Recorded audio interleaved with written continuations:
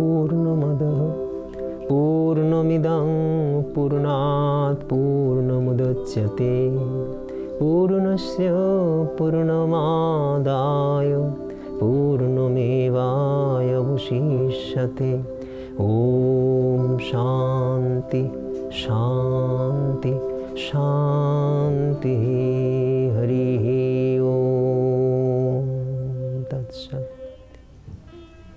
নমস্কার সকলকে এই শরণাগত অনুষ্ঠানে।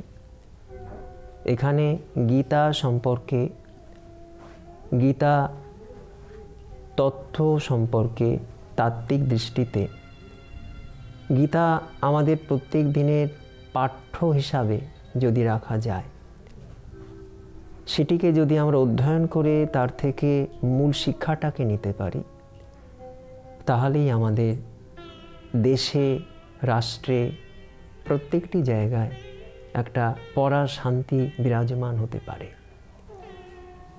আমরা দেখলাম যে এই গীতা সময়টি অর্জুন এবং কৃষ্ণের মধ্যে একজন শিষ্য, একজন গুরু, আচার্য এবং তার শরণাগত একজন শিষ্য না হলে এই জ্ঞানটাকে নেওয়া যায় না। আবার বলছেন যে গীতা হলো উপনিষদ রূপ গাভী। উপনিষদ রূপ গাভী তাকে দহন করছে কে? না গোপাল নন্দন শ্রীকৃষ্ণ তাকে দহন করছে।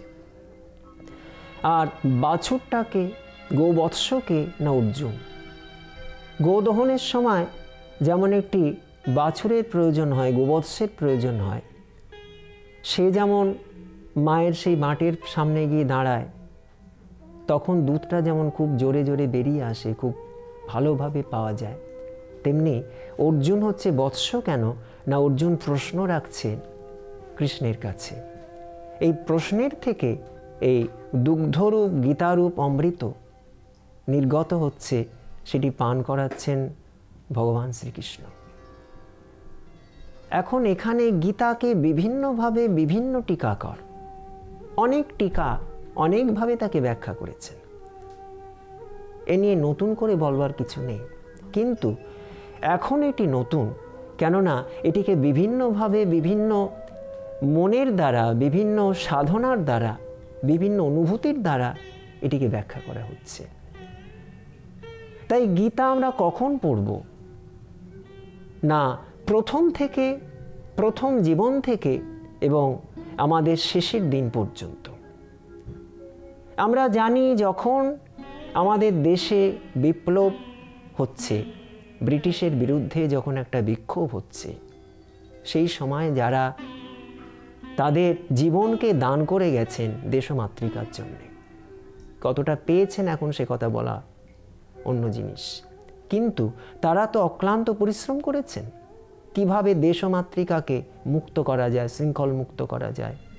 ব্রিটিশের শাসন থেকে কীভাবে মুক্ত হওয়া যায়? কীভাবে আমরা স্বাধীন চেতা হতে পারি? এভাবে তো তারা চেষ্টা করে গেছেন। তাদের প্রত্যেকের কাছে গীতা গ্রন্থ প্রতি সময় থাকে